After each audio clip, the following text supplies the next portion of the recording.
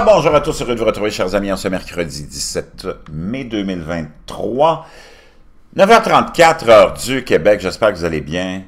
Malgré tout, il y a tellement de choses insignifiantes qui se passent et dont on n'arrête pas de parler. Et c'est voulu. Merci à ceux qui sont abonnés, ceux qui ne sont pas faits le. Maintenant, la question fondamentale, et c'est David Icke qui l'a posée, et je vous fais un résumé de ça parce que c'est vraiment tout ce que je peux penser au plus profond de moi-même et je suis convaincu que vous êtes dans le même bateau. Ce qu'on nous met à la télévision, ce qu'on nous met dans les médias sur des pseudo-questions qui semblent nous toucher ou semblent nous intéresser, hein, parce que c'est eux qui décident de ce qui semble nous intéresser, nous toucher, ou ce qui devrait nous intéresser et nous toucher, ce qui nous divise et ainsi de suite, ne parle jamais des vraies affaires parce que les médias appartiennent un groupuscule de gens qu'on peut appeler complexe oligarchique ou le 1% hein, du club occulte qui nous gouverne et sont pas là pour nous renseigner, sont là pour nous manipuler, décider de ce qui devrait être important pour faire oublier tout le reste et nous endoctriner. Et les politiciens sont les marionnettes de ce groupuscule, de ce complexe oligarchique.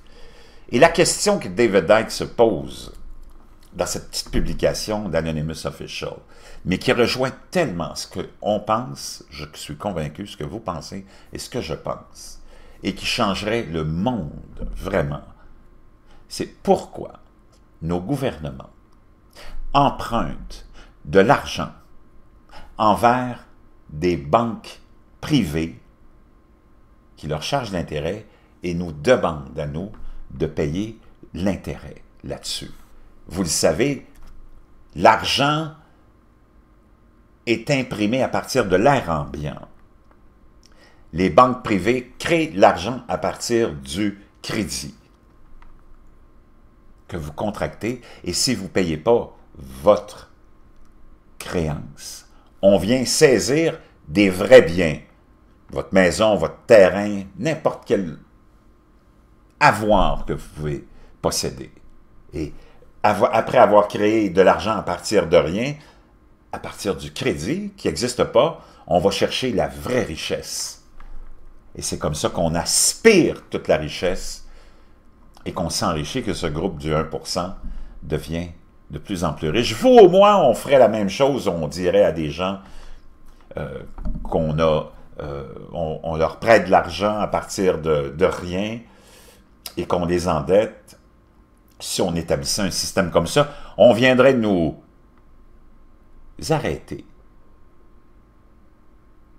sous prétexte qu'on vient de, naturellement,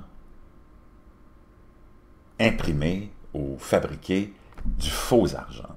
Donc, pourquoi aucun, se demande David puis c'est pourquoi aucun politicien n'est capable d'expliquer d'où vient l'argent, et pourquoi aucun économiste, même, il dit, je parlais des politiciens, des économistes, il n'y en a pas un qui, je leur demande d'où vient l'argent, quelle est l'origine de l'argent, il n'y en a pas un qui est capable de l'expliquer, ou veut pas l'expliquer. Et il n'y a pas un politicien qui remet ça en question. Pourquoi le gouvernement ne crée-t-il pas sa propre monnaie et ne, la, ne le prête pas aux citoyens sans intérêt. Ça, ça changerait quelque chose dans la vie du monde, ça changerait la face du monde et la misère dans laquelle on se trouve. Et il va même plus loin, il dit, il n'y a pas un groupe d'activistes, que ce soit, vous les connaissez, là, je n'ai pas besoin de les nommer, mais les woke, euh, les têtes dirigeantes de BLM, de Black Lives Matter ou de tout autre supposé défenseur de la veuve et l'orphelin ne soulève cette question-là, qui changerait vraiment quelque chose dans la vie de tout le monde.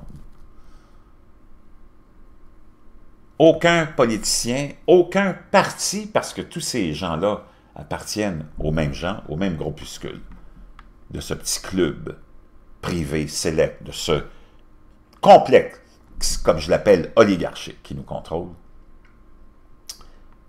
contrôle les politiciens.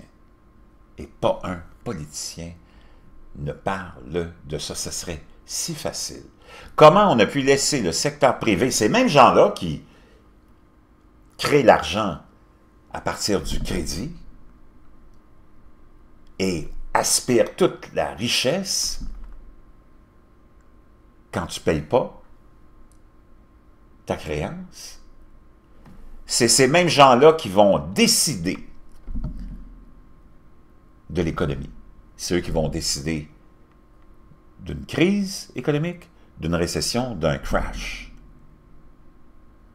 Vont augmenter les taux d'intérêt et vont dicter comment l'économie va fonctionner et vont la manipuler. Comment on a laissé ça s'installer? C'est un mystère. Et c'est ce que David Icke explique dans cette petite publication qui est fascinante, qui est en anglais, c'est pour ça que je vous la traduis, parce que c'est c'est fondamental. C'est fondamental qu'on ait laissé et qu'on laisse faire ça et que personne, personne, personne n'en parle, mais il est temps qu'on en parle. Parce que tout le reste, sans importance. Et tous les groupes, puis les activistes, puis les pseudo grands ténors du socialisme, du communisme, sont complètement insignifiants et sans importance, parce qu'ils ne parlent pas de la vraie affaire. Dites-moi ce que vous en pensez en m'envoyant un courriel. Parce que je pense que on ne peut pas s'en sortir tant qu'on ne change pas ça. Et il nous met en garde aussi contre le fait que on s'en va de plus en plus vers une société sans argent sonnant. D'ailleurs, tu as plusieurs pays en Europe, dont la Suède, qui sont presque maintenant sans argent. Et qu'est-ce que ça veut dire, ça? Ça, ça veut dire que il y aura encore plus de contrôle de la part des gouvernements face à la population.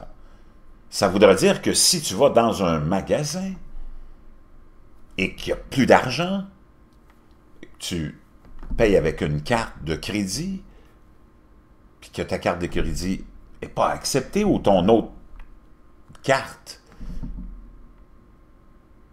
ou argent virtuel n'est pas accepté, tu seras incapable de te nourrir, de t'acheter quoi que ce soit.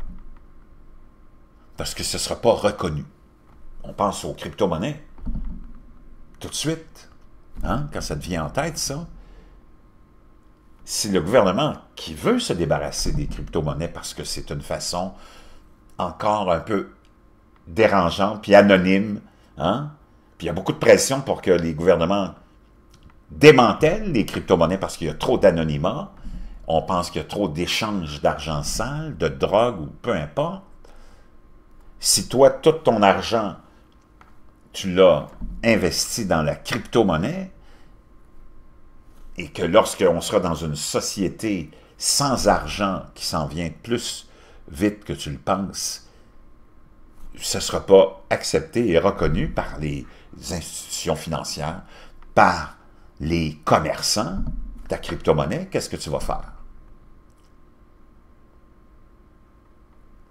Donc, quand ça arrivera, et ça va arriver plus vite qu'on pense, tout est en préparation pour ça, tu as déjà plusieurs pays qui, comme la Suède entre autres, ont presque plus d'argent, tout se fait en ligne, et d'ailleurs les banques sont...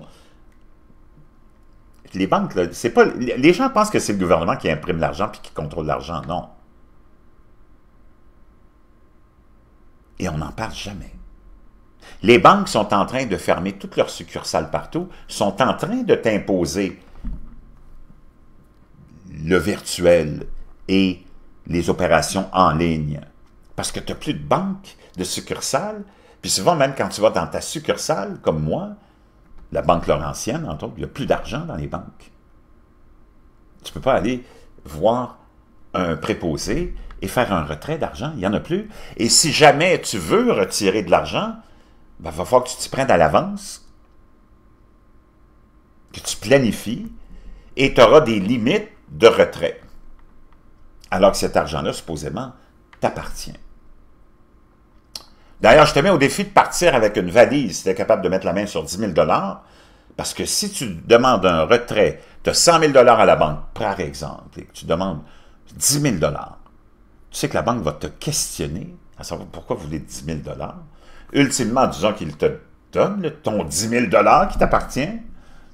Tu mets ça dans une valise et tu décides de t'en aller à Paris, de Montréal. Tu vas te faire arrêter aux douanes. Ben, aux douanes, on va te fouiller, on va découvrir le 10 000 puis on va te saisir ton 10 000 parce qu'on va penser, c'est certain, que tu l'auras volé. Même chose si tu possèdes de l'or, je te mets au défi de partir avec tes lingots d'or, puis t'en aller quelque part par avion, on saisira tes lingots d'or aussi. Donc, il n'y a pas vraiment grand-chose que le gouvernement ne peut pas faire. Mais, il est incapable de créer son propre argent et de le mettre à la disposition de tous et donc de lui-même sans intérêt.